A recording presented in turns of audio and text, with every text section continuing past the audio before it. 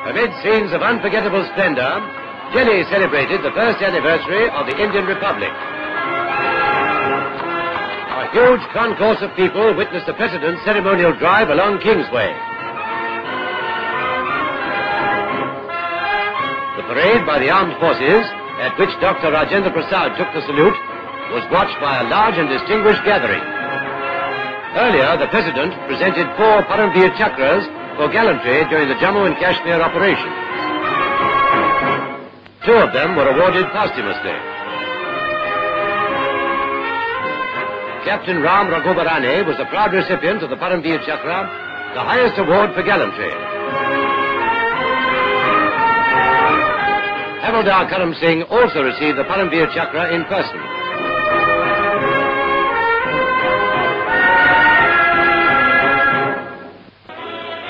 After the presentation ceremony, units of the armed forces, headed by heavy tanks, marched past the saluting base.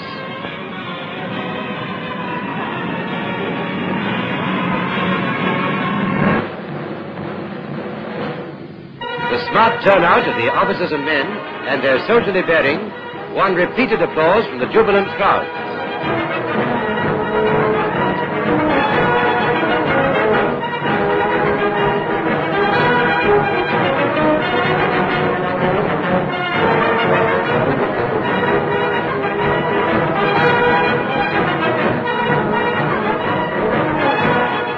Members of the Indian Navy followed the infantry units.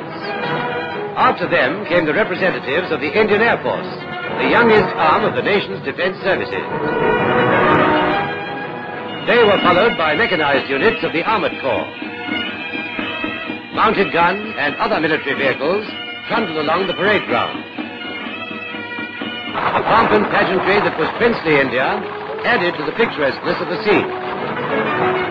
There was a famous Jaipur horse, which has won laurels on many a battlefield. Here is the well-known camel corps from Jaisalmer.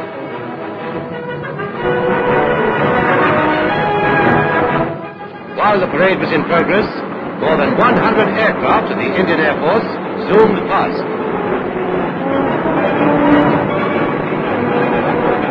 Flying in formation, they dipped in salute to the accompaniment of cheers from the assembled crowds. Harvards, Dakotas, Liberators, Tempests, Spitfires, and jet planes participated in the flypast.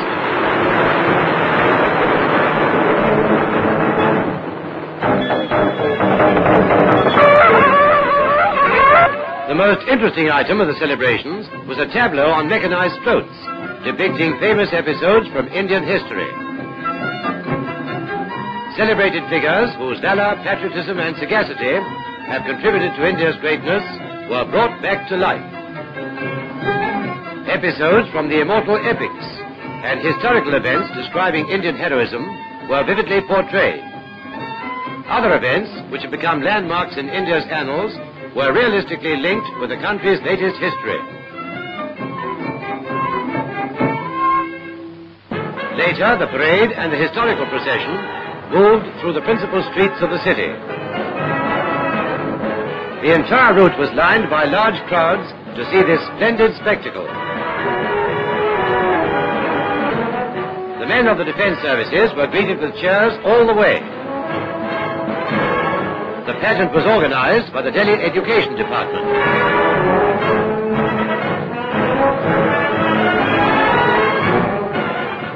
It was a day of rejoicing and of thanksgiving. Was also a day when pledges were renewed to strive for the greater glory of Republican India. Appealing to the nations of the world on the eve of the Republic Day celebrations, Mr. Jawaharlal Nehru said, I was in Europe at a critical time when the issues of war and peace hung in the balance. I endeavored to throw the whole weight of our country on the side of peace and a negotiated settlement of the conflict in the Far East. I have been intimately concerned with recent developments and I have closely followed them. I am convinced that there is an overwhelming desire for peace all over the world, whether in the East or in the West. My visit to Western countries has convinced me of this. I would appeal to the great nations of the West, who are the repositories of that magnificent culture which we have admired, and whose astonishing scientific and technical achievements have opened out a new era for mankind to cross this door of opportunity in search of peace. To the nations of Asia, I can speak perhaps in an even more intimate language and express the fervent hope that they will stand by the methods of peace, whatever happens. Jai Hind.